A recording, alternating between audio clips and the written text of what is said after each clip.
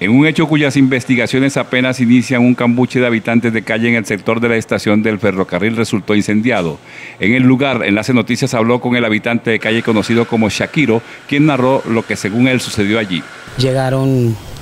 no, no agresivamente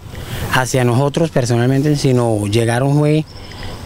sobre, preguntando sobre un robo, sobre buscando un robo que se hizo, creo que fue en el transcurso de ayer, en la noche o en la madrugada en el cual vino un civil, una persona normal así como ustedes, en el cual se acercó un caballero a las 6 y 40 minutos, 6 y media podríamos decir, hacia el sector, hacia el sector del lado allá, del cambuche del lado allá, en el cual, de La Palma,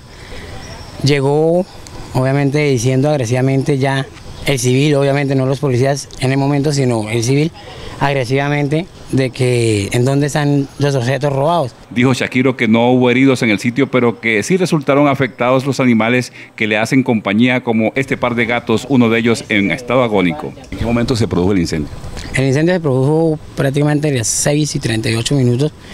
en el cual la policía apaga, eh, primero el civil comienza a tumbar el cambuche, en el cual el policía eh, hacen lo mismo que él está haciendo, tumban el cambuche de un lado para otro, comienzan a desbaratarlo, a quitar cauchos, eso y lo otro. Después eh, los policías entraron con una manguera, obviamente esas de gasolina delgadita,